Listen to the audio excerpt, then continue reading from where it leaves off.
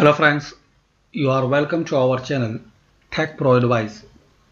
Today in this video I will show you how to hide friend list, follower list from your Facebook.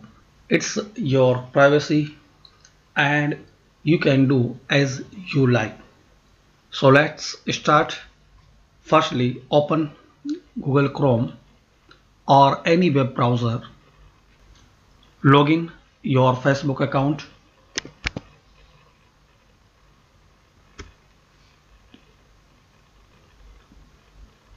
Now click on your name. Now go to friends.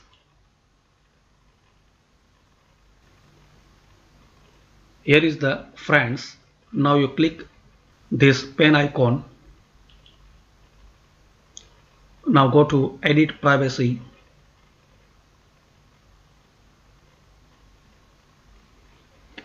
now a pop-up will open so you can read friend list. Who can see your friend list?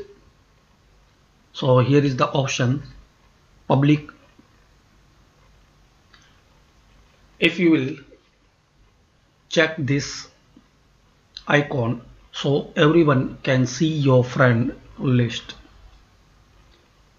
If you will check this so only your friend can see your friend list. And only me.